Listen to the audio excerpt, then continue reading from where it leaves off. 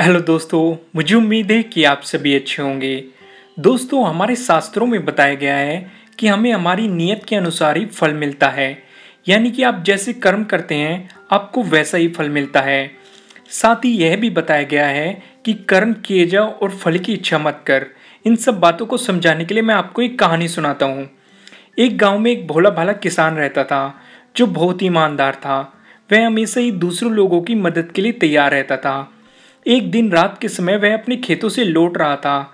तभी उसके पैर में कांटों से भरा एक पौधा मिल गया। उसने सोचा कि ये कांटे किसी दूसरे इंसान को भी चुभ सकते हैं, इसलिए उस पौधे को उखाड़ देना चाहिए।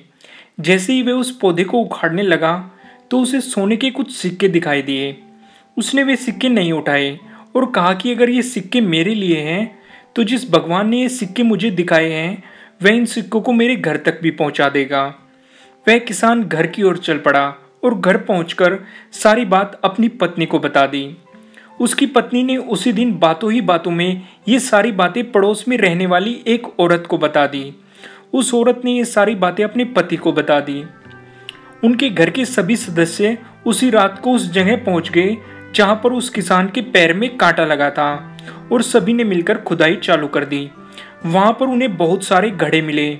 जैसे ही उन्होंने घड़ों को खोला तो वे सभी चौंक गए, क्योंकि उन घड़ों में सोने के सिक्के नहीं, बल्कि सांप बिच्छू भरे हुए थे। सभी आपस में बातें करने लगे कि किसान हमें इन सांप बिच्छुओं से मरवाना चाहता था। सभी ने मिलकर योजना बनाई कि इन घड़ों में भरे सांप बिच्छू को उसी के घर में छोड़ देते हैं, और उन्होंने ऐसा ही किया। लेकिन भगवान की लीला को देखिए, जैसे ही उन लोगों ने उस किसान के घर में इन सांप बिच्छू को छोड़ा तो वे सभी सोने के सिक्कों में बदल गए। जब वह किसान सुबह उठा तो उसने उन सिक्कों को घर में पड़ा पाया। उसने इन सभी के लिए भगवान को धन्यवाद किया। दोस्तों, इस कहानी से मैं आपको ये समझाना चाहता हूँ कि आपकी किस्मत में जो लिखा है, वो आपको ज़रूर मिलेगा। आज नहीं तो कल मिलेगा। किसी ने सही किया है कि दाने दाने पर लिखा है खाने वाले का नाम।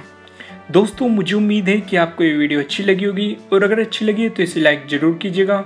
अगर आप हमारे चैनल पर नए हैं तो सब्सक्राइब करना बिल्कुल मत भूलिएगा।